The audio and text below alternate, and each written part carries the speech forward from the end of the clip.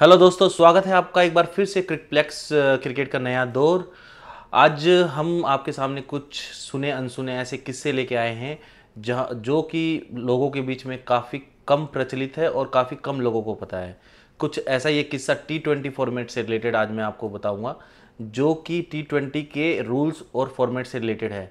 जो आज आप टी ट्वेंटी देख रहे हो, किसी ज़माने में या कुछ साल पहले इसी टी ट्वेंटी फॉर्मेट को एक नए तरीके से एक और अलग तरीके से खेला गया था जिसके अंतर्गत मैच में एक एक पूरे मैच में ट्वेंटी ट्वेंटी ओवर होने होने थे बट वो ट्वेंटी ट्वेंटी ओवर चार इनिंग्स में।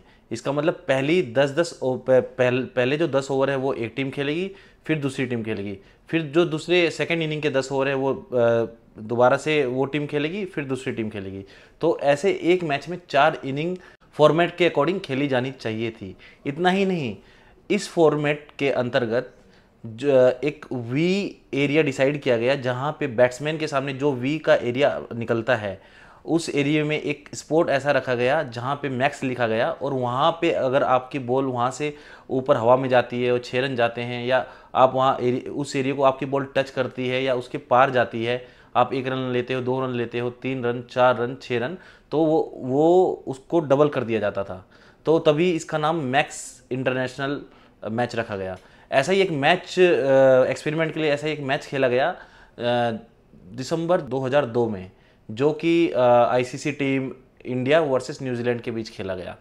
तो पहले दस ओवर में खेलते हुए न्यूजीलैंड ने करीबन 123 रन बनाए, पाँच विकेट खो के, जिसमें नेथे एसले ने सर्वाधिक स्कोर किया, जो कि करीबन 42 रन था तेईस गेंदों पे।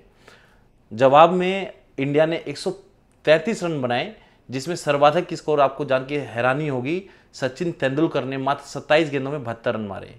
लेकिन फिर जब सेकंड सेकंड इनिंग आई, फिर से 10 ओवर खेलने न्यूजीलैंड को पड़े तो उस समय न्यूजीलैंड ने 118 रन बनाए, जिसमें 28 गेंदों पे या 24 गेंदों पे शायद ब्रेंडन मैकुलम ने 60 रन मारे।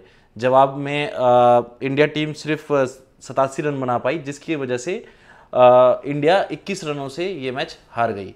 लेकिन आ, इस मैच को जो डिज़ाइन करने वाले मार्टिन क्रो ने इस ये डिज़ाइन ऐसा किया कि लोगों को बहुत ही पसंद आया और इसमें एक रुचि लोगों की बढ़ने लगी जिसकी वजह से टी ट्वेंटी फॉर्मेट को थोड़े से और चेंजेस करके लोगों के सामने लाया गया।